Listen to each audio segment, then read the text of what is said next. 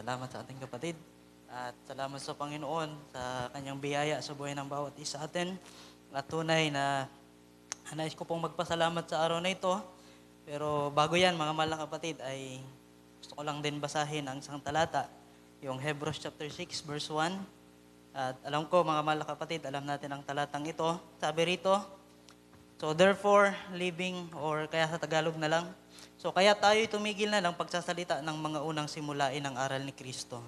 At tayo ay magpatuloy sa kasakdalan na huwag nating ilagay na muli ang kinasasaligan ng pagsisisi sa mga patay na gawa at ng pananampalataya sa Diyos. So salamat sa mensahe sa umagang ito at ang mga nakaraang mga araw, ah, bang nagbubulay-bulay mga mahal na kapatid, bago matapos ang taon, ay nandoon yung pagbubulay-bulay ko. Sabi ko, Panginoon, ano ba yung bagay na nais mo pang ipagawa sa akin at sa bawat isa amin? At napakaraming pumapasok sa isipan ko habang nagbubulay-bulay mga mahal na kapatid. At siguro marahil ay hindi ko muna may babahagi ang lang mga bagay na yan, pero ah, mayroong bagay na inilalagay sa puso ko ang Panginoon. Isang desire na higit pang ah, lumago at higit pang magpagamit sa ministry at higit pang ah, ano pa mang bagay na isang mainam na bagay patungkol sa ministry ay nandoon yung ah, tila baga di ko may paliwanag dito sa sa sa puso ko mga mahal kapatid pero umaasa ako sa Panginoon na ang mga bagay na ito ay magkakaroon ng katuparan lalong-lalo na ng pagbabalik ng Panginoon ay napakalapit na at lalong-lalo na sa araw na ito na ang mensahe mga mahal kapatid ay napakahalaga sa atin. Unang araw ng ah, ng taon na ito, 2023, Unang linggo na, na nandito tayo na nagkakatipon, mga mahal na kapatid, ay binigyan kagad tayo ng isang ay isang paksa na masahi- marahil ito ay medyo mabigat, pero sabi nga ng ating kapatid ay nasa Panginoon ang awa at nasa Panginoon din ang gawa. Amen? Isang katiyakan na tayo ay ah, ang Panginoon ang tumawag sa bawat isa atin. Sabi nga roon, binasa ng ating kapatid, looking unto Jesus, the author and finisher of our faith. At narito, mga mahal na kapatid, magpapasalamat din sa Panginoon bago ko magandog awid. Ay nais kong magpasalamat sa Panginoon sa isang buong taon na marahil napakaraming ups and down na naranasan ako, naranasan tayo, ilang mga suliranin, mga di pagkakaunawaan, di pagkakaintindihan sa mga kapatid. At nandoon talagang kinakailangan nating ma-perfect mga mahal na kapatid para mapagtagumpayan natin ang napakaraming mga bagay na ito. Pero habang nandito tayo sa laman na ito, ay tunay na sabi nga ay mahina ang ating laman pero ang espiritu natin ay malakas mga mahal na kapatid. So nais ko sanang awitin kanina ay ah, ngayon ay yung Just a Closer Walk pero mas dinala ko ng Panginoon sa isang awitin na yung Blessed Assurance. So isang kanta na bibigay ng katiyakan sa atin na tayo ay isang mananampalataya na pinaging banal na ng ating Panginoon. At isang bagay na gusto kong ipagpasalamat talaga sa Panginoon dahil ah, 2019, mga mahal na kapatid, nagkaroon kami ng bahay sa baba, yung sa baba pa lang, at 2022 ay nagkaroon ng, ah, na-expand pataas. So, yun spiritual nawa ay pataas rin ng mga mahal na kapatid, yung paglago natin. So, medyo malawak pa yung bahay namin dahil doon sa isang kwarto ay walang nakatira. So, pag nandiyan kami sa baba, doon sa, ta- sa taas, ay sabi ko, wala man lang tao dito sa taas. Parang tila baga, napakalungkot. At binibiro ko nga yung asawa ko, sabi ko, siguro kulang yung dalawang anak, mga mahal na kapatid. Pero ayun lang ay sa akin lamang. Pero ang Panginoon ang nakakalam ng napakaraming mga bagay. Pero ang aking pinagpapasalamat ay nakalipat na po kami sa biyaya ng Panginoon. At although marami pang binabayaran ngayon ay sabi ko, sabi namin, nag-sharing kami ng aking asawa. Sabi niya ay makakaraos din mga mahal na kapatid. Gaya nung 2019 ay pakatapos namin magpabahay, talaga nandoon yung bayarin. Pero na nabayaran namin sa biyaya ng Panginoon at ngayon ay kumakarap talaga ng ah, ilang pang mga bayarin pero paunti-unti lang mga mahal na kapatid at makakatapos din.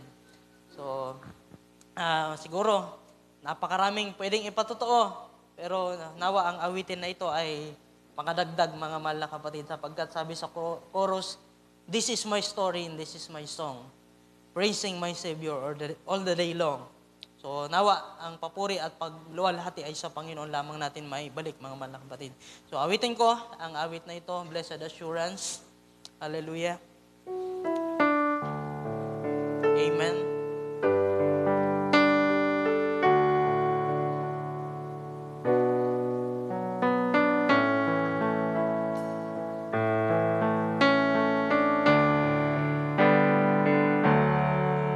Blessed assurance,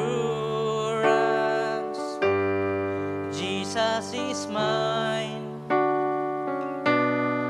Oh, what a foretaste of glory divine. Amen. Hallelujah. Heir of salvation,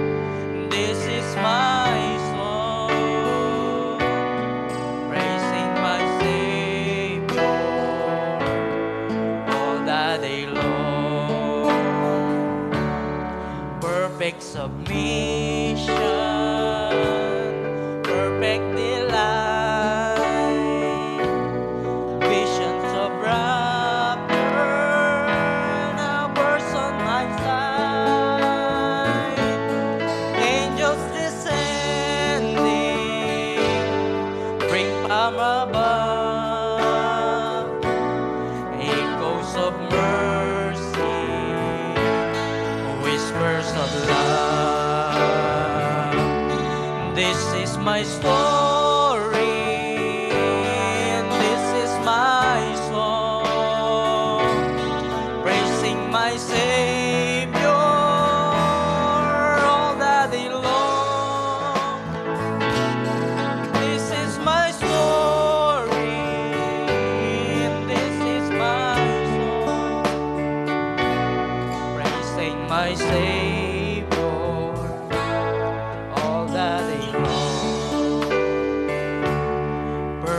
submission all is at rest. I and my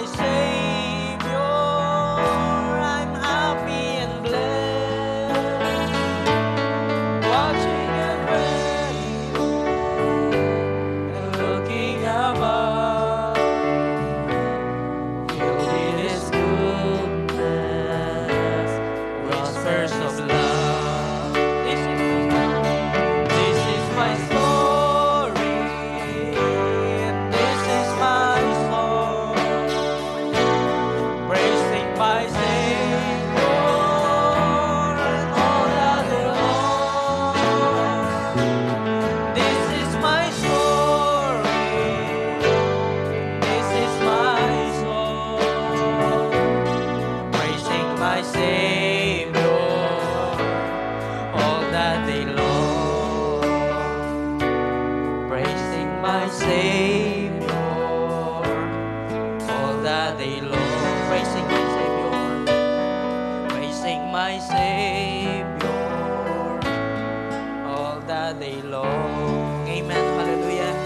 At alam lahat ay merong mga testimony sa Panginoon, pero yan po ay nagbabalik ng kapurihan sa Kanya, mga mahal na kapatid. Sa Kanya lamang ko binabalik ang pinakamataas na papuri pa sa salamat. Hallelujah. God bless you.